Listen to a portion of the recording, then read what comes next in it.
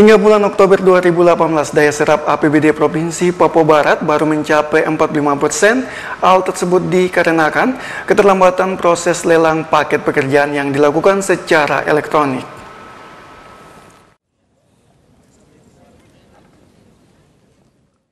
Hal tersebut disampaikan Kepala Badan Pengelola Keuangan dan Aset Daerah Provinsi Papua Barat Abia Ulu saat diwawancarai usai mengikuti apel gabungan yang dilaksanakan di halaman kantor Gubernur Arfai Manokwari.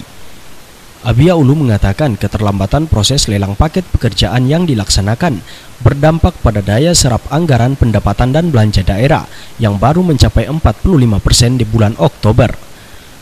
45% anggaran yang baru terserap yaitu transfer dana otonomi khusus ke kabupaten kota tahap 1 dan 2, serta dana bagi hasil migas. Sedangkan kegiatan pada organisasi perangkat daerah mengalami keterlambatan. Untuk daya serap APBD 2018 sekitar 45 persen ya.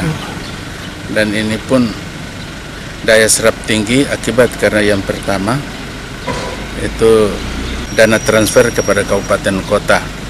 Sumber dananya dana otonomi khusus tahap 1 dan tahap 2. Kemudian bagi hasil migas kepada kabupaten kota.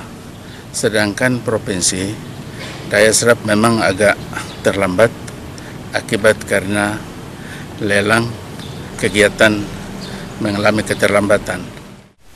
Abia Ulu menambahkan keterlambatan proses lelang secara elektronik oleh unit layanan pelelangan menyebabkan beberapa organisasi perangkat daerah menangguhkan pekerjaan untuk diprogramkan kembali pada tahun 2019. Ya, kendala kendala ini kan ya lelang elektronik ya. Nah, itu yang membuat ya dari tim melalui ULP, Pokja, nah, di situ yang mengalami keterlambatan ada yang sampai hari ini ya ada yang terpaksa ambil keputusan tidak dilakukan lelang ya. Ditangguhkan untuk program kembali tahun 2019 Sementara itu perubahan anggaran hasil evaluasi Kementerian Dalam Negeri baru dikembalikan ke pemerintah Provinsi Papua Barat guna dilakukan penyempurnaan dan dikembalikan ke pemerintah pusat. Untuk selanjutnya diterbitkan DPA perubahan anggaran.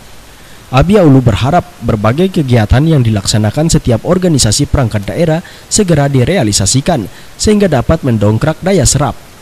Proses kegiatan akan berjalan hingga bulan November dan sesuai edaran batas akhir tanggal 15 Desember, kas daerah sudah ditutup. Dilanjutkan dengan laporan pertanggungjawaban kepada bendahara untuk diaudit oleh BPK. Jimmy Tabisu mengabarkan. Kita yang berbagi ini Ya info untuk